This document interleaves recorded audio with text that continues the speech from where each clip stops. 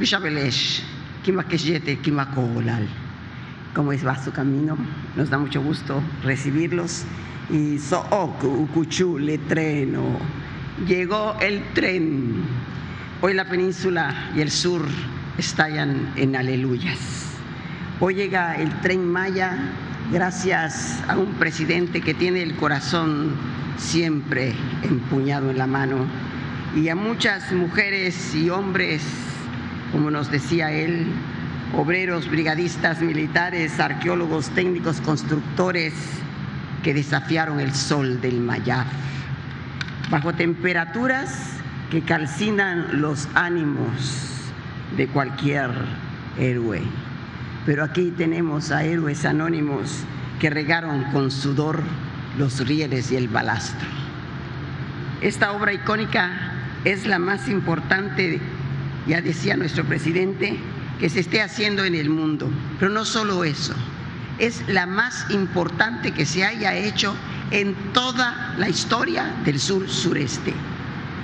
De nosotros es la fiesta, de todos los mexicanos, de quienes luchamos por años y de quienes ahora se suman para que México viva transformaciones profundas.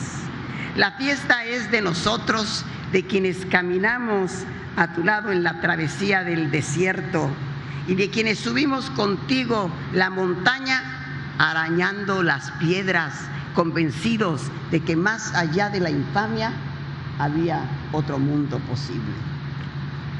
A quienes solo albergan mezquindad, a la ultraderecha desatada por sus miedos a perder sus privilegios, a ellos les decimos, ya supérenlo, ya supérenlo.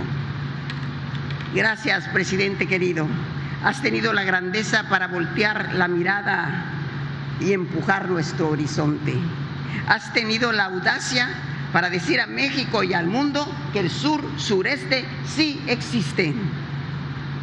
El Simincac, el caballo de fuego, será la vena horta que integrará la península del mundo maya y su cultura milenaria. Campeche no esperó el tren con tantas ansias solo para verlo pasar. No, nos vamos a subir y con tu solidaridad con el tren llegará Campeche ya más electricidad, el gas el año próximo.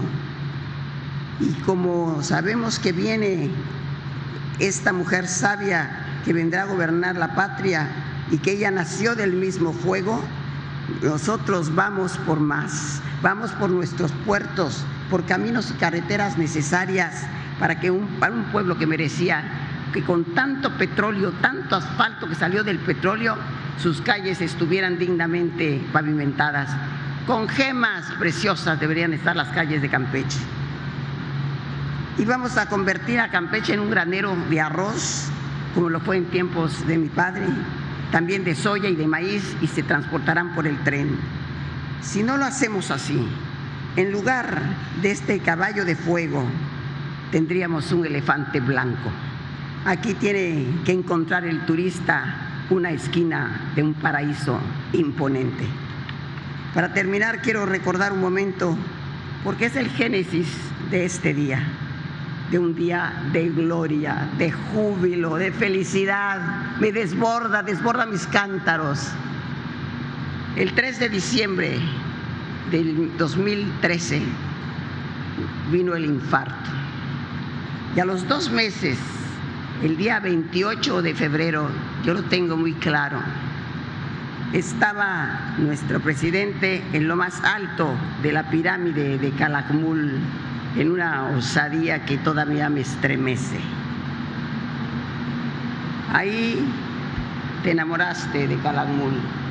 Ahí estoy segura nació la leyenda del tren Maya. Ahí se escribió el oráculo. Ahí en, medio del rugido del jaguar de la selva, ahí nació la profecía.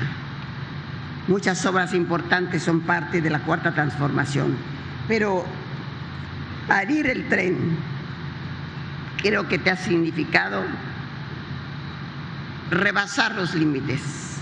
No hay descanso, no tienes vida propia, has sacrificado a tu propia familia, te vemos que no te paras jamás. Al Tren Maya es especial. A él le trasplantaste tu alma.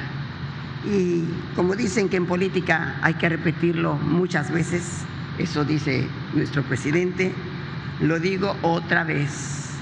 Pase lo que pase, llegue a donde llegue, te guste o no te guste, pasarás a ser historia y leyenda. Hermano Andrés, seguirás creciendo en el tiempo como ceiba eterna.